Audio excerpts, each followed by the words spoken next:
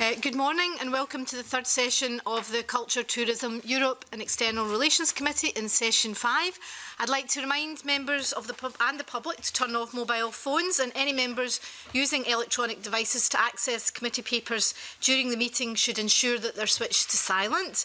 Uh, today we take evidence in a roundtable format on the implications of the EU referendum for Scotland. I'd like to welcome all our witnesses uh, to the meeting today and I think probably the easiest way um, is for people to introduce themselves directly. Um, if we could go round the table, um, I'll start. I'm Joan McAlpine, MSP for the South of Scotland, and I'm the convener of the committee. Lewis MacDonald, MSP, North East Scotland, Deputy Convener. I'm Fiona Ross. I'm the convener of the External Affairs Committee for the Scottish Youth Parliament. Emma Harper, MSP for South Scotland Region. I'm Heidi Vistesen, representing NUS Scotland Executive Member. Richard Lockhead, MSP for Murray. Marina Sinclair Chin here with the Law Society of Scotland. Uh, Jackson Carlo, MSP for Eastwood. Alistair Sim, Director of University of Scotland. Uh, Gary Clark, uh, Head of Policy and Research at Scottish Chambers of Commerce. Tavis Scott, MSP for Shetland. Um, I'm Helen Martin, I'm an Assistant Secretary at the STUC. Ross Greer, MSP for the West of Scotland. I'm Claire Slipper, I'm Parliamentary Officer, NFU Scotland. Rachel Hamilton, MSP for South of Scotland. Ian Gatt. Uh, my day job is the Chief Executive for the Scottish Pelagic Fishermen's Association. For those of you who don't know what that is, that's mackerel and herring. But I've also got another role as the President of the Scottish Fishermen's Federation. I'm wearing that hat today. Uh, Stuart McMillan, MSP for Greenock and Inverclyde.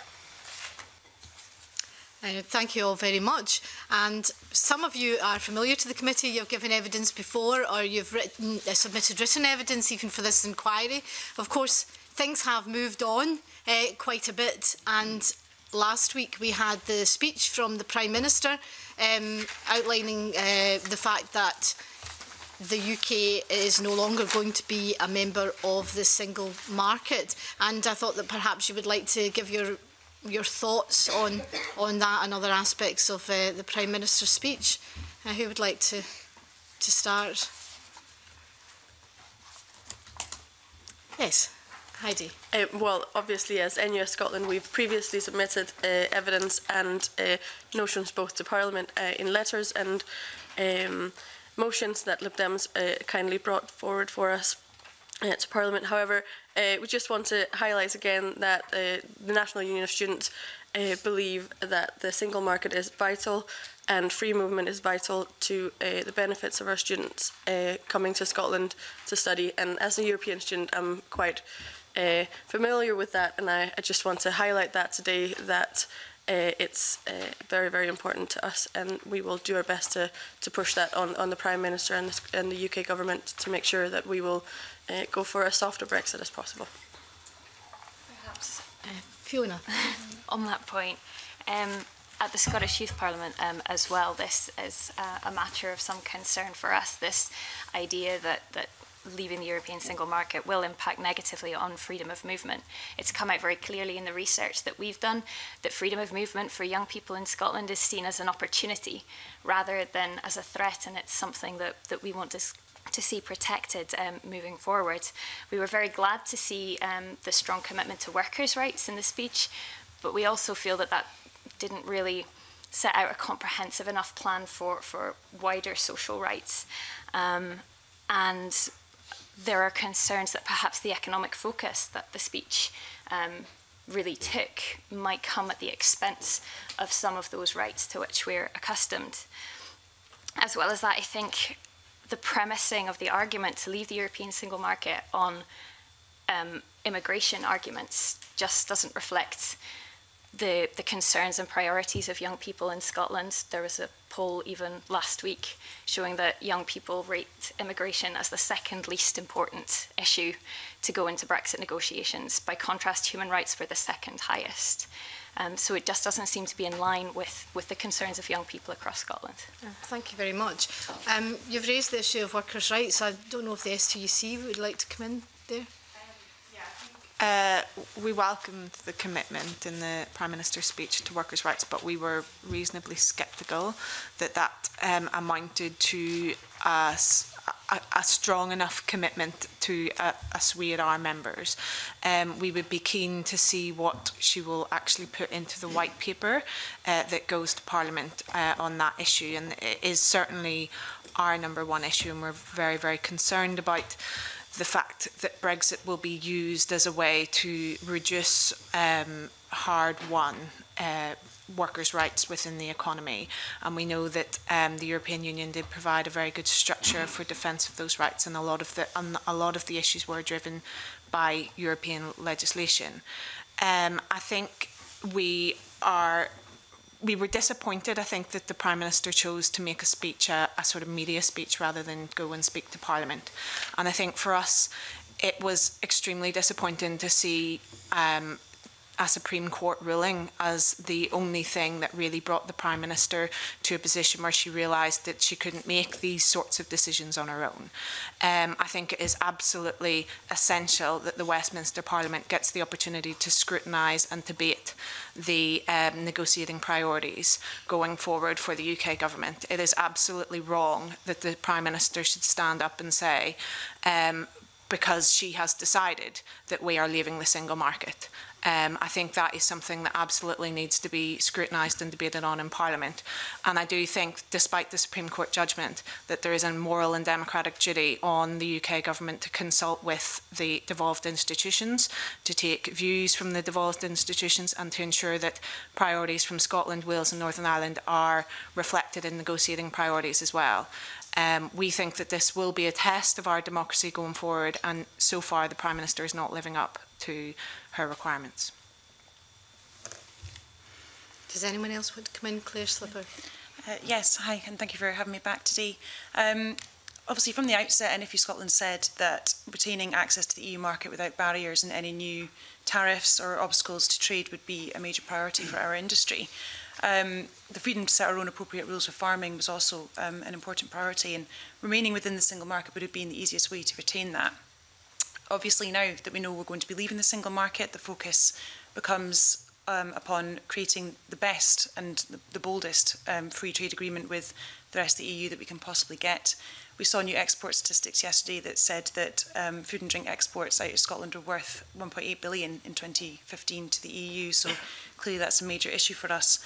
Um, I'm sure we'll come on to the, the free trade agreements later on, but I suppose it's important for me to say that the, the key concern here is that not only will that place um, possible restrictions on access to labour, which is a huge issue for our industry. Um, but there's also a concern that an FTA not done correctly could result in an increase in food imports, which could be hugely damaging for our industry. Um, it's not just the loss of provenance of the Scottish label, but it would also export jobs, incomes, communities, welfare standards, environmental responsibilities off uh, uh out of Scotland potentially. And we hope that that is something that is recognised by the UK and Scottish governments. Alistair Singh. Um, I think just remarking on the Prime Minister's speech, I mean, in a sense, possibly a, a, a bit of a mixed bag for us, um, some useful suggestions of, of, of direction, but um, we would really want to see what is carried through in terms of delivery. Um, I think, you know, universities obviously are absolutely uh, dependent on the free flow of talent across borders, both student talent um, and staff talent. And, you know, we were enormously pleased um, earlier this week when, when, the First Minister and Ms Somerville um, came to our event to, act, to, to, say that Scotland's universities welcome the world and that we really are committed to being as open as possible to, to the movement of international talent. I think you know the prime minister did say something useful on that regard. She did say we still we want to continue to attract the brightest and best to work or study in, in Britain and to openness to international talent must remain one of his country's most distinctive assets. But I think you know we really want to see delivery on that, and I think it's actually quite a difficult dynamic on that. When on the one hand you've got that statement of openness, and on the other hand, um, following Amber Rudd's speech to the, the Conservative conference, um, there's still a dynamic that seems to be heading in a different di direction of having a, a, a, more restrictive attitude to to the migration um, of talent that, that sustains our, our universities. Um, similarly, I think on the rights of EU citizens resident in the UK, I mean, I think I've said before in this forum um, just how difficult it is at the moment for university leaders who so often are approached by staff saying, uh, you know, e staff from EU nations um, who've been resident in Scotland often for a long time are saying, look, I don't know what my family's entitlements are going to be in future, um, not just to stay, Um, but to access public services, you know, I'm going to still be able to use the health service on the same basis as, as a UK citizen, what happens to my kids going to school and so on. Um, I think the Prime Minister did say something useful in saying that she wanted to guarantee the rights of EU citizens who are already living in Britain um, and um, you know, I'd like to see that concretised. What's, what's that mean in terms of rights not just to stay but to access public services? And also, what is that going to mean in terms of our ability to attract future stuff from the EU, because that, that's a problem that universities are already facing, um, is when you're running a competition to get the best possible staff for a role, um, staff from the EU are having to think very, very seriously about whether they actually take up an offer from um, a university in the UK. And you know, certainly anecdotal evidence is some of us saying, I just don't know enough about what my entitlements would be to, to make that choice on behalf of myself and my family. Um, a third element where I think you know there was a hint of going in the right direction that, that again needs to, to, to be followed through um, was on research collaboration with the EU. Um, I mean, I think I've, I've, said again in this forum um, that Horizon 2020 and not just the money, but particularly sustaining of relationships of collaboration um, with our neighbours um, has has been really important for um, the excellence of, of universities in Scotland. Um, and I think the, the, Prime Minister did give an indication that she was open to um, an agreement to continue to collaborate with our European partners on, on science and research and technology. Um, again, you know, I think one would want to see that built on in a concrete way. Does that mean that um, potentially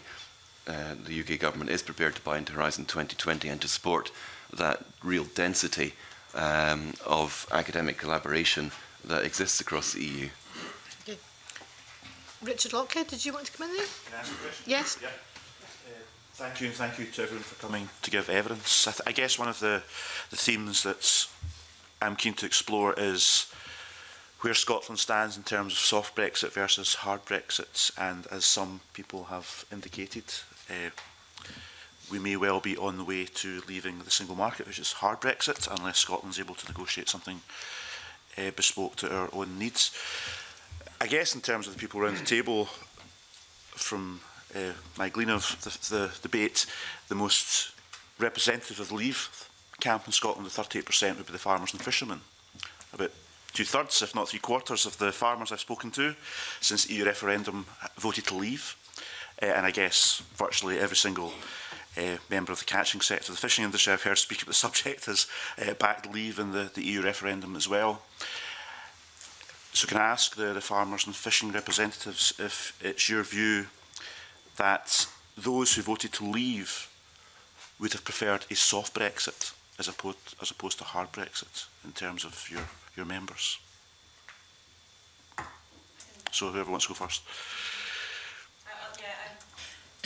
as you know, as a union, prior to the referendum, we came out in favour of remaining in, um, purely on a on a business case. Um, obviously, our industry is heavily supported by support from the EU, but also in terms of the trade, um, as I touched on in my opening remarks. Um, as you've said, that obviously the industry was, was fairly split on the issue, and I think that a lot of it came down to the rules and regulations. They felt their hands were tied by red tape, and that if we were outside the EU, we could possibly build you know, uh, a more outward-looking future for ourselves, I suppose.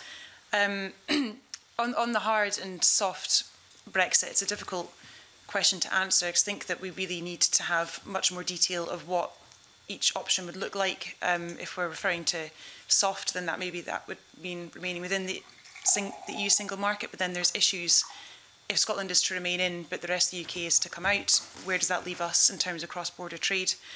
Um, on, on the hard Brexit, again, as I touched on in my opening remarks, it, it entirely depends on the sort of free trade agreements that we'd be looking at in the future and whether or not we'd still be able to sell our produce to not just an EU market but an international market as well. Um, what I will say is that I think it would be naive for the industry to assume that if we're coming out of the single market, we'll be able to build a brand new, shiny system free of all the rules and regulations that that uh, you know farmers can often complain about. The EU will still remain a significant trading partner and it's likely that we'll have to have some element of regulatory alignment with that, with whatever system we build for ourselves. And, and likewise, we'll be constrained to some extent by the likes of World Trade Organization rules as well. So, um, but, but really we need a better idea from government. We've got a little bit from the Prime Minister now as to what she sees the future looking like, but we need much more detail about how that will impact upon our different sectors. Mr Gadd. Yeah, yeah, I suppose I might be unique in this room in, in the sense, as Mr Lockhead had said, that our industry have been very clear that we uh, see that this is a huge opportunity and leaving Europe for, for our industry on a number of fronts. Um, one of them certainly has been uh, the release of our industry from the common fisheries policy, which has been, as far as we're concerned, a very uh, eh, centralised management system which has uh, played its part, I would say, in uh, the demise of some of our coastal communities. And certainly in relation to things like our fishing opportunity or our, our quotas, it's uh, a mind-boggling um, system altogether. And I've certainly sat through, I think, close to 20 years of December Fisheries Councils, 10 with uh, Richard Lockett, uh, two years when he was uh, Shadow Minister, and, and eight when he was Minister. And we would sit in the building, Scotland's building in Brussels, in Scotland House, and, you know, continually say there must be a better way to manage fisheries than this. And I think it probably the Parliament's in, in agreement with that. So we, we really see that there's an opportunity to have a better system of management in place. And, and certainly on, on two fronts, A, the sustainability of our stocks, and, and B, the economical uh, profitability of the, the sector, the entire sector. The, the other uh, main issue in, in, terms of the hard or the soft Brexit, of course, is the market. And us as a sector, uh, we certainly need a market. We are uh, largely exporting. The home market is very important, but the international market is important. So post-Brexit, we definitely need a, a, trade deal that we can trade with both the EU, but we also see there's huge opportunities to trade with other eh, importing and exporting nations ac across the world. But naturally, the continued tariff-free access to the European market is our preferred option. Absolutely, that's, that's our option eh, preferred. But, you know, in the event that this is no longer possible, that we could see there would be a huge benefit, I think, not only from the UK but the EU as well, to have a system where we've got um, a, a mutual beneficial trading relationship which involves uh, low impact tariffs uh, and also tariff-free quotas. So th that is that is definitely our option. But we do see that there are opportunities even outside the customs union to access other other markets, especially for fish that we can uh, and shellfish that we can uh, freeze. Um, you know, places like India and Turkey uh, spring to mind straight away that there's big populations there could be a huge demand for our Scottish produce. So there are opportunities there. But I, I will say this, and this is our huge caveat, that we see in terms of Brexit that the key issue is access to our resource. And we don't want to see a situation where access to the single market is traded against getting access to our fisheries zone. It's absolutely key to our success in terms of uh, post-Brexit. What, what does that mean? It, it means that day one after Brexit, that we are in control of who's coming into our waters and how much fish that they're catching. That's absolutely key to the future prosperity uh, of, this industry. What we do know at this particular time, and I'll just finish on this one, is that of the European Union catch, including the UK and the UK waters, 60% of the catch is taken by uh, non-UK vessels. So we don't see that that is a, a, a system that's uh, eh, right or proper for, for an industry who would be a coastal state. We need to rebalance that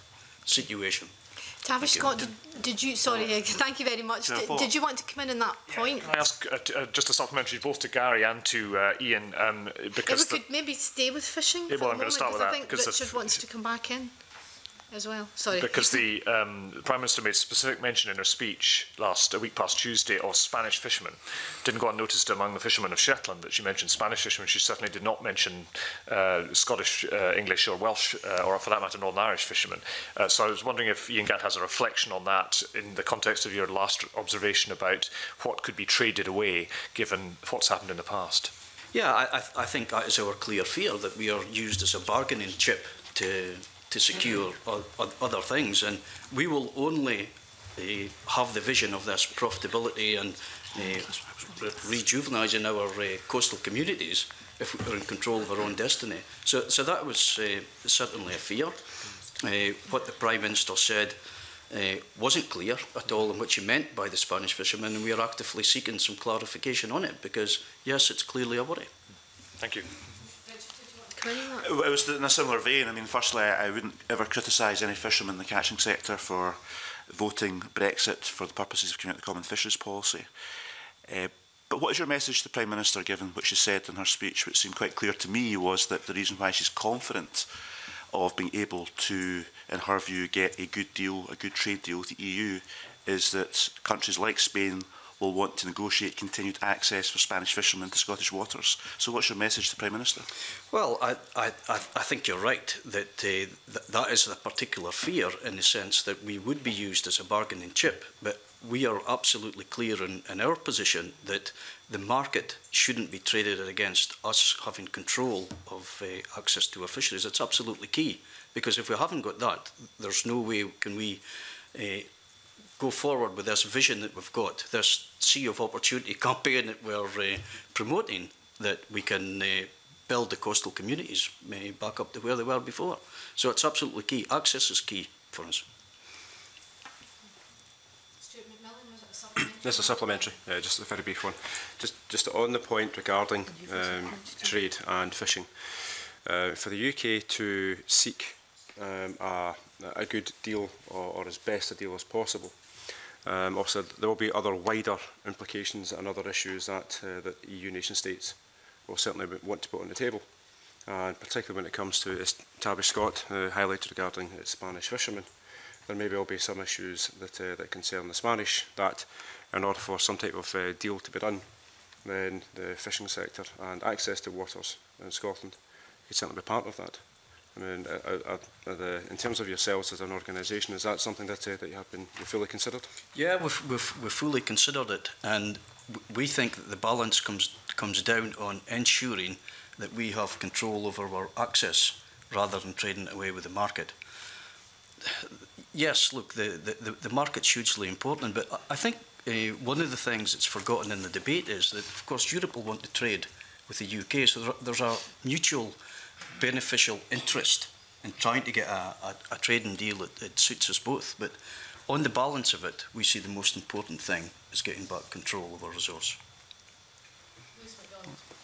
To follow that and completely understand the point about resource being the top priority for the fisher, fishing sector, uh, can you tell us, though, what is the current state of play in terms of the market? What share of produce from Scottish, Scottish catching uh, goes to the European Union out with the UK uh, and what share goes to uh, uh, markets beyond the European Union?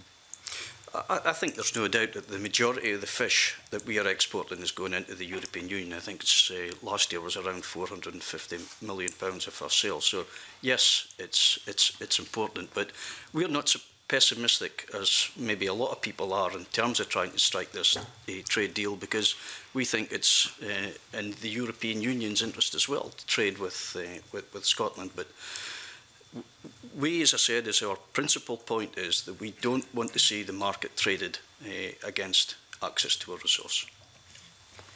There, I know that there are another, a number of other members wishing to come in. Can we restrict it to fishing for the moment? And Emma Harper did you have a question about fishing? No, no. Mike, eh, it was Ross. Clear, was yeah. your question about fishing? Can I just also make the point that we've the committee, a number of members of the committee, have just come back from a visit to Brussels, where we had extensive conversations with the eh, MEPs and, and, and experts and other um, and, and, and other um, organisations. And what came across, I think, was very strongly is that the Spanish are very, very concerned about Gibraltar and in terms of uh, regaining sovereignty to Gibraltar, and this is going to emerge as a, a key issue in the negotiations. And obviously, you know, in return for giving up Gibraltar, they're going to drive a hard, hard bargain. Would you be concerned that access to Scottish fishing grounds, UK fishing grounds, would be an aspect of that? Has that been raised? Has the specific subject has been raised with you about Gibraltar as well? No, it hasn't. So it's, a, it's an interesting point uh, you make. And Yeah, I'm, I'm sure that um, people across the European Union, especially in the fishing community, because well, although it seems that we're uh, wide and diverse, we do meet our European colleagues and we know that they are working actively on strands of argumentation that they can put forward to ensure that they maintain the, the present access uh, arrangements they've got. So it, it, it, doesn't surprise me. And, but as I said, we see for uh, Scotland, there's a huge opportunity to grow this industry, a huge opportunity, and I think we should grasp it. Okay, thank you. Emma Harper. Thank you, convener. Um, good morning, everybody. My questions specifically about farming NFU. NFU are going through um, elections now for our new president and vice president, and that's obviously putting another spanner in the, the Brexit works. I mean, my questions are around the red tape that you talked about and um, what are the difficulties that you know the farmers are seeing but you know, when I speak to farmers on the ground, some of them are genuinely excited about Brexit and the opportunities, but then there's others that are really, really concerned about the potential of 42% tariffs on dairy products or higher tariffs on beef and sheep. I mean, our farmers, whether they're Highland or in the south of Scotland, where I'm from, are dairy. You know, they're should they really be concerned about this hard Brexit, soft Brexit? I mean, I'm curious as to why they are really excited about it. Yeah, well, um, as I said in my previous remarks, um, different trade scenarios will have different impacts for different sectors of the agricultural industry. So um, as much as our response to the, the Brexit scenario today has been a sort of Scottish Agriculture PLC response, um, what we're trying to do at the moment is get a much better understanding of the impact of various different tariff potentials for tariffs and also non-tariff barriers for different sectors of the agricultural industry. Because what might be um, you know, quite quite useful for one sector. You, you know, perhaps the, the, the, dairy industry in terms of outward exports might be extremely dangerous for others, uh, like, like the livestock guys. So um, we're in we're in the process of actually get, gathering much better information on the likely trade scenarios and the impact that'll have, and then putting that to our membership to see what is it that we should be pushing here. Um, I mean, as I've said, what what would be desirable is something if we could possibly emulate something similar to what we have at the moment in terms of the balance of trade. Um, we're currently, U, the UK is a net importer at the moment, so perhaps there could be a better redress done there um, in terms of our self-sufficiency. But um, it's, it's a hugely complex area. Mm. And um, as I said in my remarks to the previous question, if it is free trade agreements that we're looking at, there are serious concerns about our capability to negotiate a deal that is going to suit all sectors of the agriculture industry within the two-year time frame uh, on a bilateral basis. It does seem like a serious challenge ahead. Mm -hmm. Thank you. Many of the organisations, if not all the organisations around the table, welcomed to uh, one extent or the other the Scottish Government's proposals, the Scotland's Place in Europe paper. I was wondering if off the back of the Prime Minister's speech, if you had any further thoughts on the Scottish Government's proposals and how compatible they are with the position the UK Government has now outlined. Yeah, um, we, we did welcome the Scottish Government's uh, piece of work, and I think it was at the time it was the only piece of work that had been done that I had really uh, looked in any detail about what a future uh, solution could or might look like. I think, to be clear, we welcomed the fact that the piece of work had been done. We didn't necessarily welcome what the proposals were because we hadn't got there in our policy or on, in our thinking yet. Um, now we've heard from the Prime Minister, and I think that does raise quite significant challenges potentially um, around how you would marry the Prime Minister's vision and the Scottish Government's vision together. And one of the things that this paper said uh, quite clearly was the idea that if um, Scotland did maintain its single market access, that it would do so while maintaining its access in the UK market. And I think from our point of view, as trade unionists, we don't have a defined policy about what we want to see going forward, but we do have priorities. Um, we want to defend workers' rights, we want to defend social protections, we want to defend jobs through market access, making sure that um, our employers can, can trade freely with, within the markets that they, they see as priorities. And we want to also make gains where possible, so we want to see um, a better in industrial strategy. We want to see state aid being able to be given to industries, things that are currently prevented by European rules. So we'd like to see, you know, the living wage promoted through procurement, those sorts of things. So we'd like to look at where we can we can actually make gains in that area. But I think the question for us would be, um, what, how do you ensure that those priorities are met, whether it is through the UK government's proposals or the Scottish Government's proposals. So there are significant challenges in this paper around um, how you would meet how you would ensure the different market accesses, for example. Um, and we would want to be sure about the choices that we were making, and we wouldn't want to see any unintended consequences for industries where we have members. Um, and I think there is quite a lot of thinking that needs to be done around that, and it is something that we will be looking at more within the future. Are there any other witnesses that would like to come in on that point? Yes, Marina. Just wanted to say that, yes, we did also welcome the fact that the Scottish Government produced a paper. It's important to start looking in detail at what, what it is that's going to be debated. Um, taking the Scottish Government's paper and their clear preference to remain within the single market, and then looking at the Prime Minister in her speech stating quite clearly that that wasn't, wasn't the UK Government's position that's obviously going to bring up some challenges, but the fact of the matter is the range of possible outcomes is still extremely wide, and there are a lot of issues that we need to look at within that. So, whatever the ultimate framework ends up being for Scotland and the UK and their relationships with the EU, we need to take into consideration how are we going to make sure we protect citizens' rights? How are we going to make sure that everyone is able to enjoy certainty in the law and stability and that can be done in a lot of different ways, but we need to start listening and hearing what both sides are going to be debating in the, the weeks coming forward. Marina, can I just follow up on that? And one of the things that the Prime Minister was very specific about was um, leaving the European Court of Justice. Now, again, when we were in Europe, what came across very strongly was that, and the people that we spoke to, is that any free trade agreement or any kind of access to the market would require the UK to sign up to a regulatory framework, and there would have to be an arbiter uh, to that. Um, and what, there's a big question mark over what the arbiter is going to be if there's no European Court of Justice uh, to arbitrate these things. I mean, what's the Law Society's view on that? So you're right, the Prime Minister did specifically say that the, the Court of Justice wasn't something that we wanted to take part in anymore. Um, what terms are going to be agreed for any any deal that comes forward. That's that's a matter for political negotiation, and we'll have to, to wait and see what comes forward. We do have some concerns at the Law Society about what's going to happen to current pending cases. So people that already have cases going forward that will are, are en route to going to the Court of Justice at the moment, or in the future might end up with a referral that way. We have looked at a couple of different ideas for how, how you could make sure that those people still were able to access decisions and, and resolve their cases, but it's, it's something that we need to, to look into further. Okay, thank you. I'm aware that we haven't heard from Gary Clark yet. Don't know if you're being particularly shy this morning, you're not usually.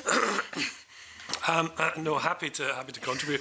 Um, no, it's, it's, it's, it's, an interesting discussion. I have to say, from a point of view of our members, that probably less interested, with the greatest of respect, in what the politicians are saying than their own priorities being met and, and how the politicians uh, respond positively to that. I think, in common with, with others this morning, uh, one of the clear priorities of, of our members in all of this, in terms of the relationship with the EU, is to ensure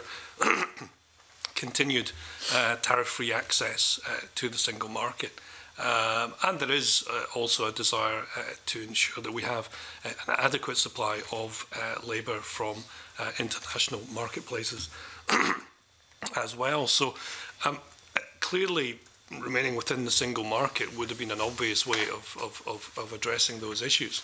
But I suppose that's not to say that they can't be addressed from, from outside of that, as, as others have already mentioned. Um, so we do want to see uh, a clear uh, deal to ensure tariff-free or, or as, as tariff-free as possible uh, access to the single market going forward. Um, we want to see clear guarantees in terms of the rights of, of EU citizens uh, already here to work here, but we also want to see uh, an expansion of the ability of people from the EU and elsewhere to, to come to, uh, to Scotland to work um, and to take part in our economy because we believe that that is a, a clear economic need.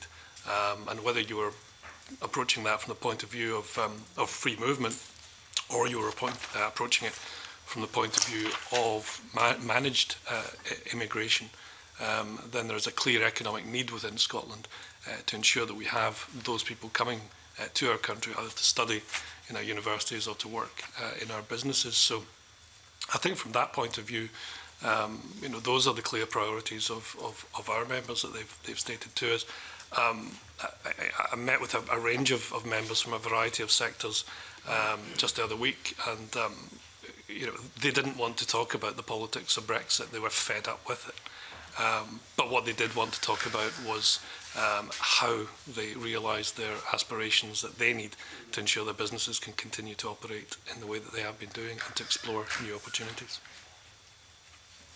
Lewis MacDonald. That, that's very interesting, and, and, and I think I think we've heard from a number of witnesses uh, objectives which are, are, are all un completely understandable and desirable, but potentially uh, in contradiction with each other. Uh, uh to Helen Martin's point about procurement and state aids was a very important point. We were, when we were in Brussels, we met Esther Lynch from the European TUC, who talked about the work that had been done to change the social clauses in uh, relation to public procurement to allow public procurement to have such clauses and also reforms that were in, being pursued in relation to the Posted Workers Directive, again to allow trade unions to have a, a more active uh, say in uh, these matters on a national basis as well as across the EU as a whole. I guess my concern, or what I'd be interested to hear people's views on, is how, uh, and we've talked about access to single market from a business point of view or from a farming and, and, and seafood point of view, that's clearly important. What mechanisms are your organisations considering in terms of future influence on policy within Europe? Because clearly, as members of the single market, uh, even as members of the single market out with the European Union, there isn't that direct role uh, of influencing policy. So, what else is available to influence policy in ways that will clearly affect this country, whether we're uh, in the single market, outside the single market, or seeking to negotiate a free trade arrangement. Helen um, this is this is one of our key issues, really. Um, I think we we were a Remain organisation. We really wanted to see the European. We wanted to see the UK remain within the European Union, but we were not uh, Remain organisation with no caveats. We were Remain and Reform. And it was a very key part, actually, of our position that we thought that being a member of the European Union actually gave you the most ability to reform the European project, to bring in the social dimensions, uh, to do the, the sorts of things that uh, Mr MacDonald has just outlined in terms of uh, change in procurement regulation, post workers directive. Um, that, is, that is really a key part of why we thought it was so essential that the UK maintained its membership. So one of the things that we would, will be thinking about going forward is what do the other options give you in terms of influence? So the Scottish Government's paper talks about F, the membership partnership for the UK and potentially for Scotland. And we've done some fact-finding with um, Norwegian trade unions and with the uh, EFTA sort of coordinating committee that does the social dialogue. And we've talked about how um, what the, what the influence looks like, how you influence the decisions that are coming down from the European Union. And we really received very clear indication from everyone, really, that this, these are not influencing opportunities, that there is no influence. I've never actually heard so many people tell me so clearly that they have no influence over, over the rules that govern their lives. Um, and I think for us, that would be something that we would really need to think about whether it was acceptable to have no influence over the decisions that are being made and the policies that are being taken. Um, I think as trade unionists, we will always, to a certain extent, have influence because we will always have our trade union structures. We'll have the ETUC, we'll be able to work together across Europe across um, internationally in the way that we do. And those structures are not related to the European Union. They are not, they will not be torn down regardless of what we do um, in terms of our European membership. And in some ways, we are trying to strengthen our our arrangements from the S2UC to um, to the e 2 uc and to other uh, key trade union centres in Europe um, in preparation for these negotiations. Can I just follow up on that point? Mm -hmm. Because um, in terms of the UK government's proposal, you know, it's, mm -hmm. it's not EFTA, it's, it's outside again. Yeah. And we've been told in Brussels that if you want to sell into the market, you have to abide by the rules of the regulations, otherwise you don't sell into the market. Um, so, you know, like you're talking about EFTA's not satisfactory, and I think it's fair to say, you know, like we've taken evidence on that as well. But then being outside completely, you have no influence at all either, but you still have to obey the rules if you want to sell. Well, I think I think this is this is a point that we absolutely recognise. In some ways, the, Europe doesn't go away. It, it just doesn't, which is why we were a Remain organisation, and we still, to a certain extent, think that the best option is to be a European Union member. It does feel a little bit like that ship, ship has sailed. However, um, with the in terms of the negotiations with with the EU, it is clear that we are going to have to negotiate some form of relationship and trade deal.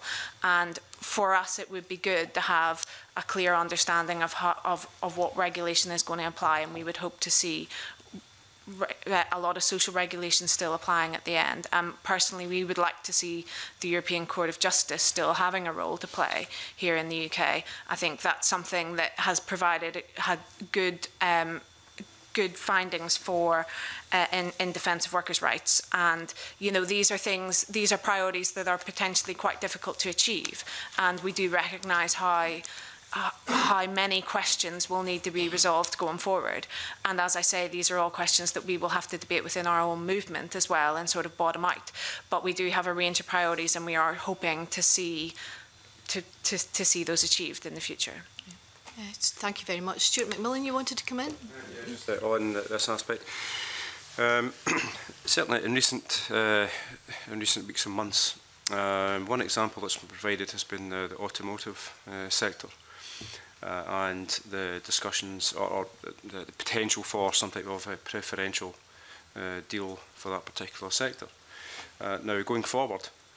uh, obviously you're all here representing your various organisations uh, and you're certainly kind of pushing uh, your own individual uh, cases. But uh, if at some point uh, a deal uh, is, is undertaken, and bear in mind there'll be a transition deal first and then uh, the final deal, Uh, but by the time we get to the end of a process, whenever that's going to be, um, there may there will probably be some winners and some losers.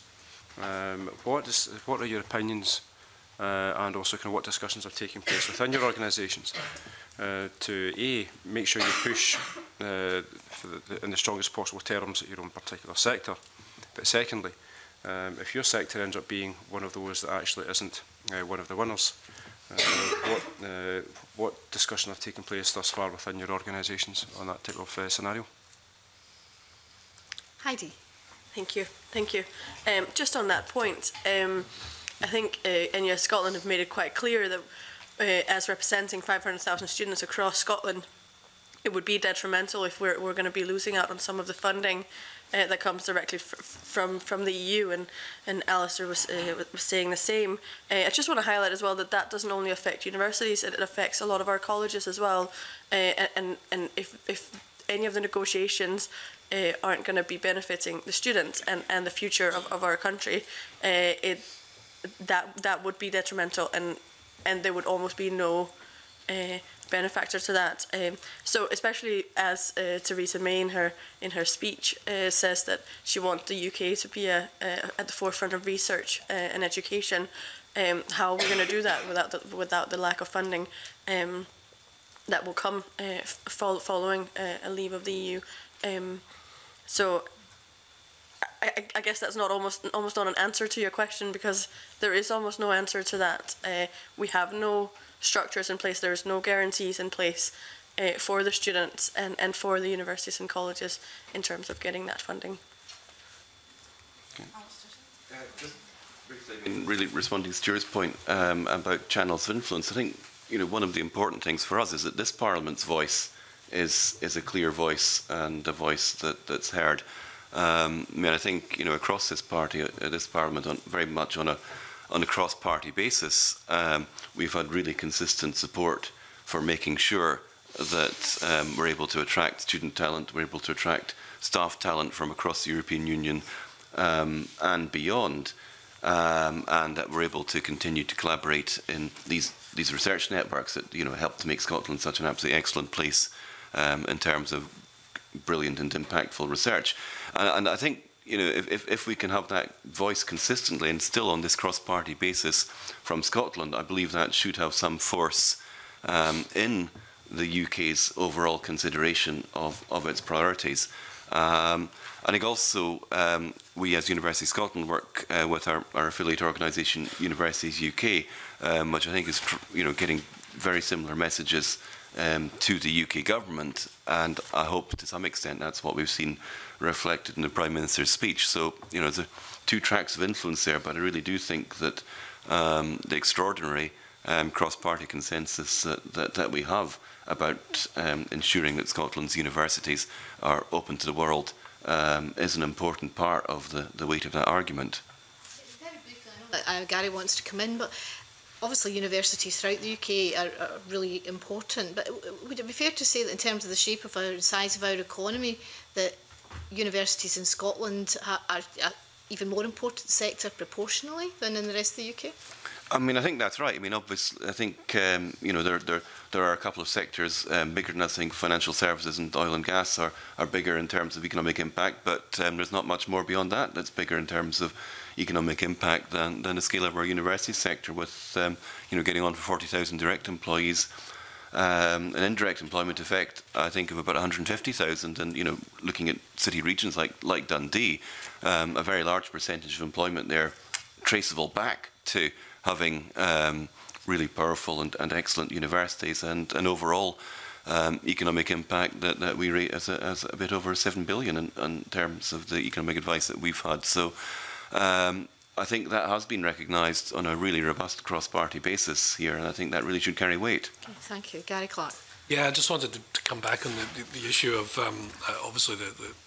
case has been made in terms of a special deal for, for, for the automotive industry.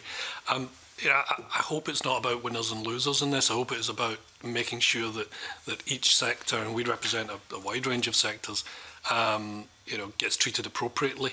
Uh, and, and I think certainly in terms of the automotive sector, in terms of the aerospace industry, there's so much um, that is done on a, on a cross-border basis uh, at the moment that I think is absolutely essential uh, for the, the, the smooth operation of those those industries. Um, that they do form some sort of, whether it's you know some form of remaining within the customs union or, or whatever to ensure that they can continue to operate the way that they operate uh, at the moment. I think that's in the UK's interest, and I think it's in the, UK, uh, the interest of um, uh, businesses in, in other member states as well. So it is about getting the most appropriate uh, solution.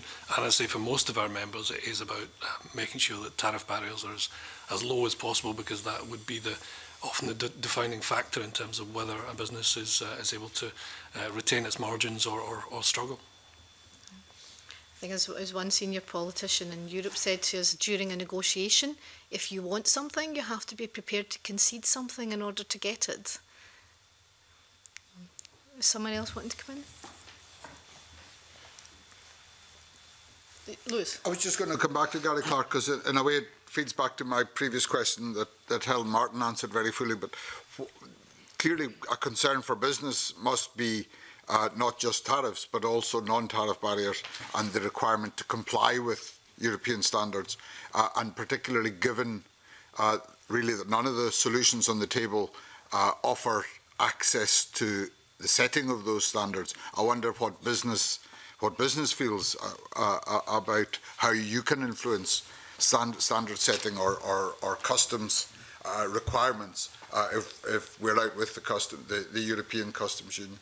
Yeah, I mean, I, I, think there's a long way to go in this. I mean, certainly speaking to members, I mean, they are uh, currently operating within those those those existing standards. I mean, there, there are uh, even difficulties sometimes even within the, the, the single market. Uh, in, in, some aspects of that, but they are currently operating within that. They're familiar with that, um, uh, many have expressed to, to, to, to us the, the, the, optimism that you know hopefully if, if, if we're currently familiar and engaged in, and meeting those standards then um, even if we're outside the, the, single market then at least in the first instance we'd have a better chance of achieving a, a trade deal uh, and continuing to, to, to um, work within those standards. I think the difficulty would then come if standards change and um, uh, obviously we need to look at the flexibility within uh, any agreement we came to with the EU single market uh, to be able to reflect that and uh, for our for our own national um, uh, legislation and regulation to, to, to reflect that as well in the longer term. I think that's what I'm keen to understand because on day one the standards are identical, yeah. but on day two they begin to diverge, and so.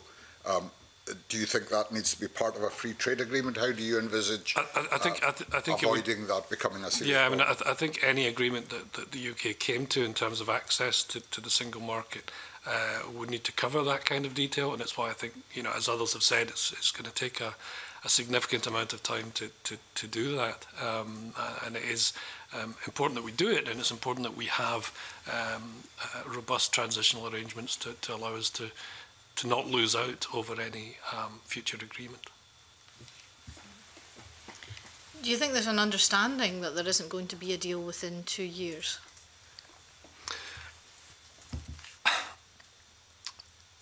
it's a difficult question. I mean, I, I, you know, we're representing businesses of, of, of many different sizes.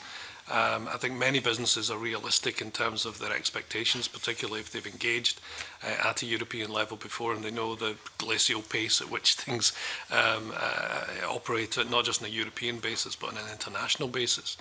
Um, so I think there is that, that, that expectation among some businesses. I think other businesses uh, may be of different uh, expectations, and it's why we need to ensure that not just that we get the right deal at the end of the day, uh, but that we have a flexible transitional arrangement whereby businesses do not lose out uh, because um, we can't afford to lose businesses along the way to reaching uh, a, a formal trade agreement with, with the EU. Yeah.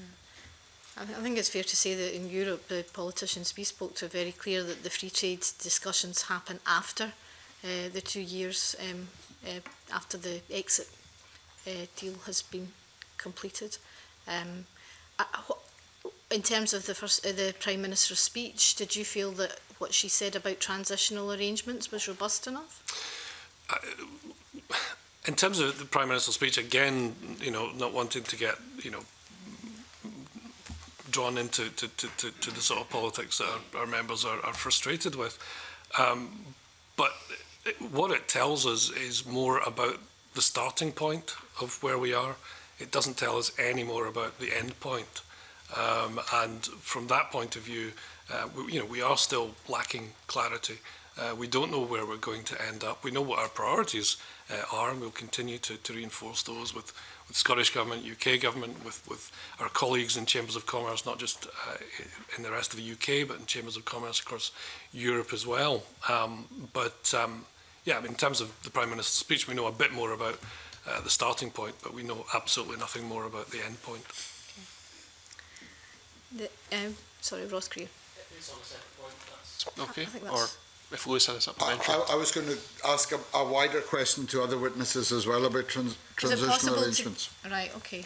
That, that was all, just simply to follow that up. Well, did any other witnesses have anything to say about transitional arrangements?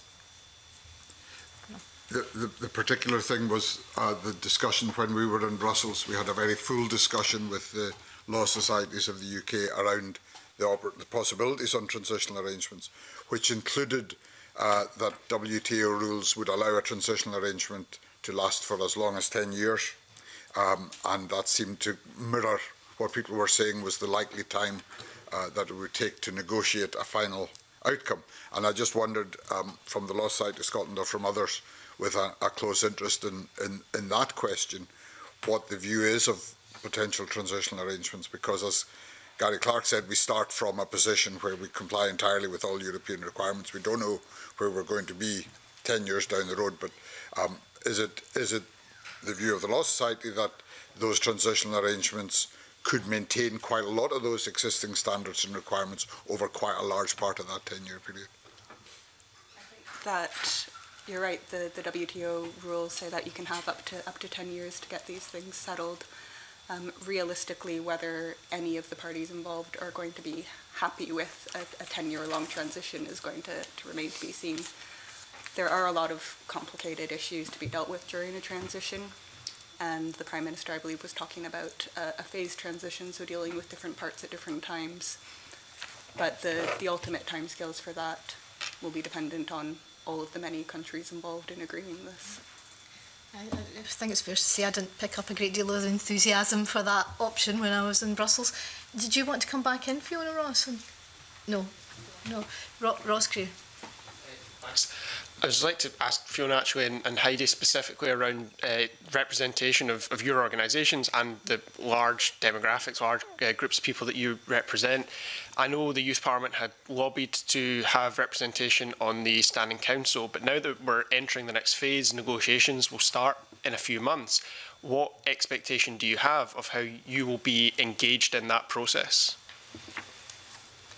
Yeah, well, I'll start with that. Um, I think it's um, something that we have to consider very seriously, and I would urge the committee um, to to bring into its considerations because you know, whilst there's a number of organisations here representing very important sectors of, of Scotland, I'm here representing a generation of Scotland. And that comes with a lot of problems. There's a lot of different voices with a lot of different opinions, but they really, really do have to be listened to. I think we definitely back um, Together's um, suggestion that I know they've submitted um, to the committee that an expert on child and, and young people's rights um, be appointed to the advisory panel. Um, and we definitely seek um, further engagement with this committee, which you know I really do thank for having um, us here today. Um, and I would I would seek further engagement, perhaps bringing other young people in as well um, to work directly with the committee would be a, a fantastic way for you to get a sense of the diversity um, of voices out there. Yeah, thank you for that question, Ross. Um, I just, yeah, again, I just really want to reiterate what Fiona just said. Um, that we are, we're very, we're very pleased to be, be sat here at the table and be able to reflect our, our experiences. And, and in terms of the diversity of, of the people that we're representing, I'm sitting here as a, as a European student. I came here five years ago, and I'm not planning on leaving unless I'm being kicked out um, and and for us to have this opportunity to sit at this table and, and reflect that uh, and make sure that that's heard uh, is a vital opportunity for us and we, uh, we would be very pleased to be invited back um, and, and I think we've made some of our, our points quite clear uh, in some of the statements that we've released as well uh, and we, we won't stop pushing that either and, and, and we will continue um, so we'd be quite happy to be invited back and we'd be quite happy to answer any questions um, specifically for students and also to remember that not all students are are young people either so we will have generations that are uh, not uh, reflected just in the uh, from the Scottish Youth Parliament as well. Thank you. Thank you very much and we're very grateful that you're here today and I know that the committee does have plans and has been discussing plans for further engagement uh, with young people so uh, thank you and thank you to the rest of our witnesses who've come here today. Um, I'll now close the public session of the meeting.